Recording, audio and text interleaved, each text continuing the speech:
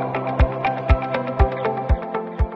Welcome to the Viera Market Minute. I'm Jeremy Stewart, bringing you the latest market updates in West Viera, Melbourne, Florida. For the month of May, the low condo sale was a 598 square foot, one bedroom, one bathroom condo located at 6431 Borasco Drive, number 2305, which sold for $165,000 after 49 days on the market. For our low single family home for the month of May, we have a 1,889 square foot, three bed, two bath home located at 3324 Guerrero Drive.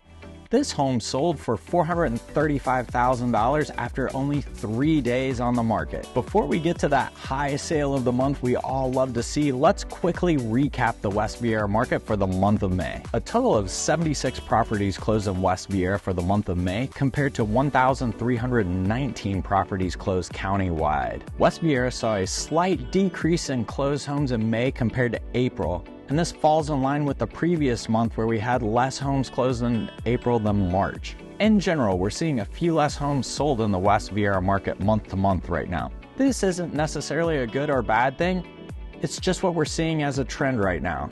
And for buyers, it's going to give you guys a few more choices when you're out there looking. There are currently 162 properties active to begin the month of June in West Viera. This falls in lines with the county and national trend of increasing inventory over the last few months. In May, we saw the average days on market increase to 36 days compared to 17 for the month of April. When we remove the new construction homes that listed at zero days on the market, 29 of those 76 properties that number increases to 57 days on the market. So, what does this mean? It just means that we're returning to more of a normal market where we have to take a little more time to sell, and buyers, you have a little more time to choose. Now, for the high resale of the month, which takes us back to Arapica's older sibling, Valencia.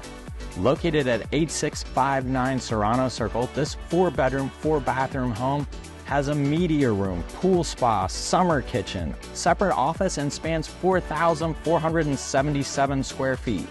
This impressive property sold for $2.125 million after only 10 days on the market. Congratulations to all the buyers, sellers, and agents involved in these successful transactions. Will we see continued rising inventory next month, or will there be a new trend that evolves? Stay tuned for the next market update. I'm Jeremy Stewart, and I'll catch you at the next one.